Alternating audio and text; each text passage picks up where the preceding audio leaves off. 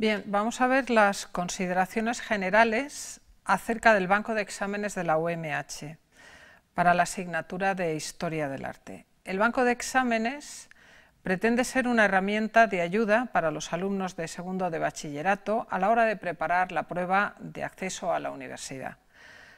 La resolución de las cuestiones y de los problemas que aquí se presenta no debe ser considerada como la única posible. En muchos casos, la respuesta a cada uno de los apartados del examen puede realizarse de forma igualmente correcta siguiendo otra argumentación alternativa.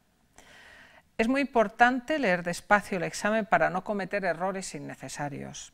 El examen tiene dos ejercicios, el A y el B. El alumno deberá elegir realizar el ejercicio A o el ejercicio B. No debe realizar los dos ejercicios, sino solo el A o el B. Una vez tomada la decisión sobre cuál de los dos ejercicios va a realizar, el siguiente paso es leer el baremo del examen, que es el mismo para ambos ejercicios, el A y el B, porque hay una diferencia notoria en la calificación de las tres preguntas, siendo así que la primera y la segunda preguntas tienen una puntuación máxima de cuatro puntos, mientras que la tercera pregunta tiene solamente una puntuación máxima de dos puntos.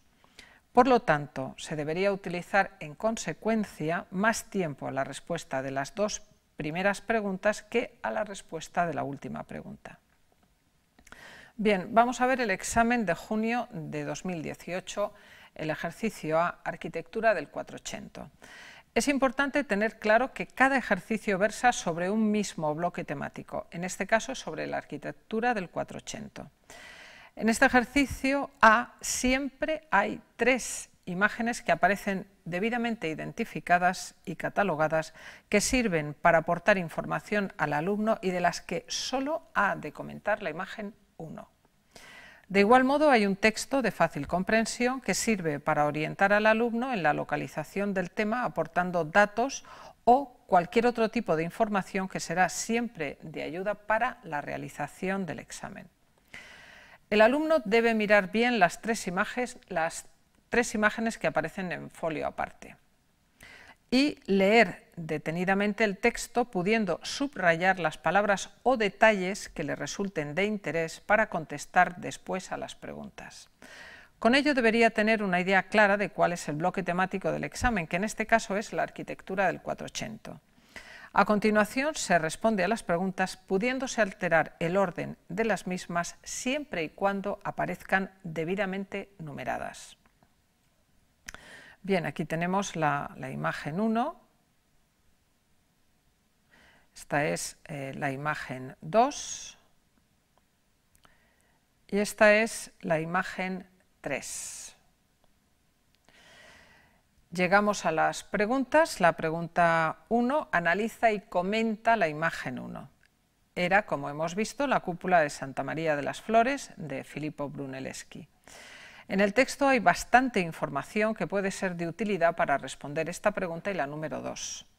Se trata de explicar de forma razonada todo lo que se pueda de la imagen. Así se haría, en primer lugar, una identificación de la misma. En segundo lugar, se entraría en el comentario de esta, diciendo el tipo de edificio que es y el estilo al que pertenece, materiales, técnica constructiva, elementos decorativos, concepción espacial, funciones y simbolismo, etc. En tercer lugar, se haría una valoración personal del estilo y de la obra. Y en cuarto lugar, se trataría de contextualizar la obra. Eh, la pregunta 2, características generales de la arquitectura del 480. En esta pregunta se trata igualmente de, de, explicar de forma razonada los conocimientos que se tienen de la arquitectura del 480. Para ello hay que aportar toda la información de la que se disponga teniendo en cuenta la ayuda que suponen los datos que aparecen en el texto, así como la información que aportan las tres imágenes que son también de gran apoyo. Es importante hablar en unas coordenadas de espacio y tiempo correctas, decir todas las características generales de la arquitectura del 480 y su evolución. Si se puede hacer alguna comparación con algún otro edificio del momento, también es interesante. La pregunta 3 comenta el contexto cultural, económico y político de la Florencia del siglo XV. Es muy importante en esta pregunta dar una respuesta razonada, puesto que toda la pregunta está basada en la contextualización de la misma en una época concreta. Cualquier obra de arte tiene las influencias del momento que le toca vivir. Ello lleva implícito, en este caso, la religión y el poder de la época, pero también es trascendental hablar de la sociedad. Bien, vamos a ver ahora en el examen de junio de 2018 el ejercicio B. En aquel caso era el post-impresionismo Van Gogh, Gauguin y Cézanne. Es importante tener claro que cada ejercicio versa sobre un mismo bloque temático. En este caso es sobre el posimpresionismo, Van Gogh, Gauguin y Cézanne. En este ejercicio B siempre hay dos imágenes que aparecen debidamente identificadas y catalogadas que sirven para aportar información al alumno y de las que solo ha de comentar la imagen 1. De igual modo, hay dos textos de fácil comprensión que sirven para orientar al alumno en la localización del tema, aportando datos o cualquier otro tipo de información que será siempre de ayuda para la realización del examen. El alumno debe mirar bien las dos imágenes que aparecen en folio aparte y leer detenidamente ambos textos, pudiendo subrayar las palabras o detalles que le resulten de interés para contestar después a las preguntas. Con ello debería tener una idea clara de cuál es el bloque temático del examen, que en este caso es el post-impresionismo, Van Gogh, Gauguin y Cézanne. A continuación se responde a las preguntas pudiéndose alterar el orden siempre y cuando aparezcan debidamente numeradas. Aquí tenemos la imagen 1 y la imagen 2. Pasamos a las preguntas. Pregunta número uno, analiza y comenta la imagen 1. En este caso es la noche estrellada de Vincent van Gogh.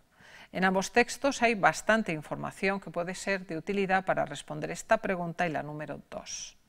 Se trata de explicar de forma razonada todo lo que se pueda de la imagen. Así se haría, en primer lugar, una identificación de la misma. En segundo lugar, se entraría propiamente en el comentario de esta, diciendo tema y tipo de representación para a continuación pasar a los elementos formales, la técnica, elementos pictóricos, línea y color, luz, perspectiva, volumen, composición, análisis formal, etc. En tercer lugar, se haría una valoración personal del estilo y de la obra y en cuarto lugar, se trataría de contextualizar la obra en su época y en la trayectoria del artista. La pregunta número dos explica las características generales del posimpresionismo y de los pintores Van Gogh, Gauguin y Cézanne. En esta pregunta se trata igualmente de explicar de forma razonada los conocimientos que se tienen de este movimiento artístico.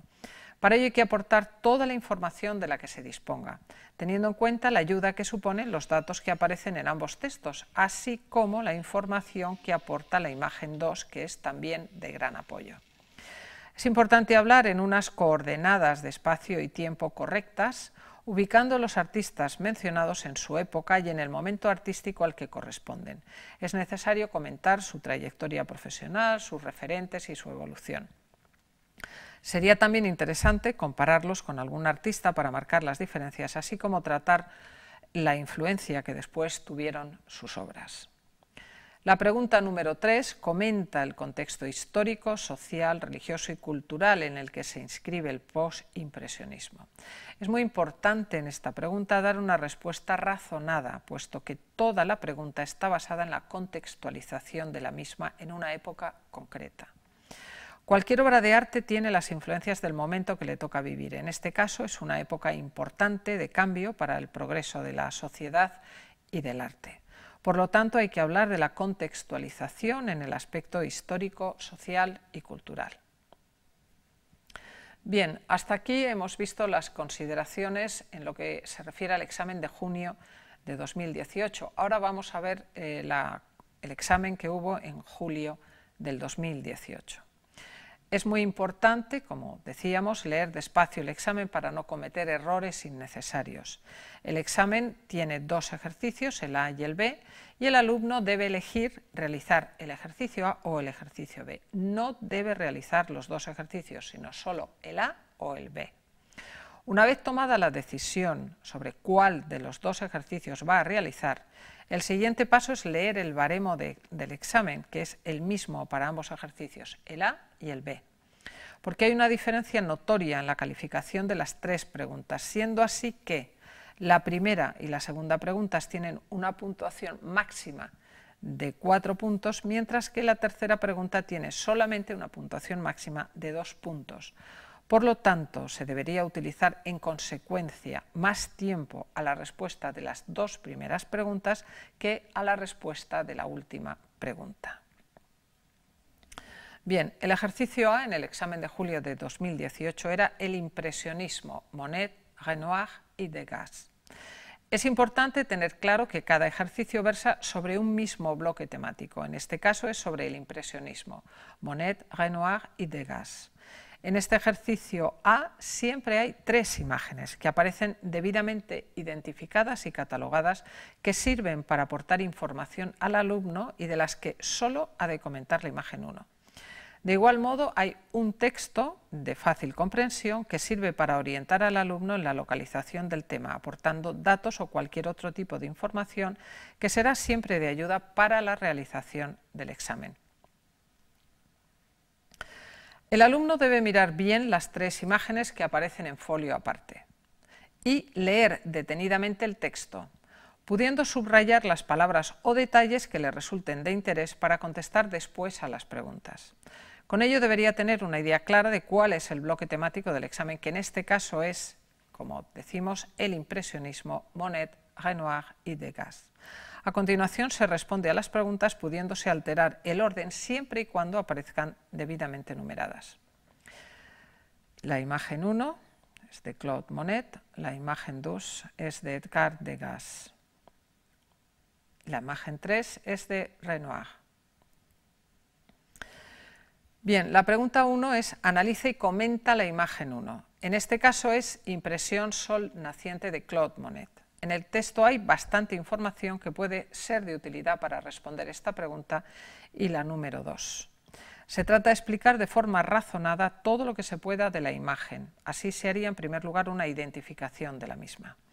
En segundo lugar, se entraría propiamente en el comentario de esta, diciendo tema y tipo de representación, para a continuación pasar a los elementos formales la técnica, elementos pictóricos, línea y color, luz, perspectiva, volumen, composición, análisis formal, etc. En tercer lugar, se haría una valoración personal del estilo y de la obra. Y en cuarto lugar, se trataría de contextualizar la obra en su época y en la trayectoria del artista. La pregunta número dos explica las características generales de la pintura impresionista.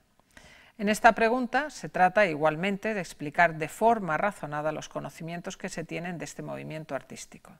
Para ello hay que aportar toda la información de la que se disponga, teniendo en cuenta la ayuda que suponen los datos que aparecen en el texto, así como la información que aportan las imágenes que son también de gran apoyo. Es importante hablar en unas coordenadas de espacio y tiempo correctas, ubicando a los artistas mencionados en su época y en el momento artístico al que corresponden. Es necesario comentar su trayectoria profesional, sus referentes y su evolución. Sería también interesante compararlos con algún artista para marcar las diferencias, así como tratar la influencia que después tuvieron sus obras. La pregunta número tres relaciona el impresionismo con la sociedad de su tiempo. Es muy importante en esta pregunta dar una respuesta razonada, puesto que toda la pregunta está basada en la contextualización de la misma en una época concreta. Cualquier obra de arte tiene las influencias del momento que le toca vivir. En este caso es una época importante de cambio para el progreso de la sociedad y del arte. Por lo tanto, hay que hablar de la contextualización en el aspecto histórico, social y cultural. Bien, el ejercicio B eh, era la arquitectura románica. Es importante tener claro que cada ejercicio versa sobre un mismo bloque temático. En este caso es sobre la arquitectura románica. En este ejercicio B siempre hay dos imágenes que aparecen debidamente identificadas y catalogadas que sirven para aportar información al alumno y de las que solo ha de comentar la imagen 1.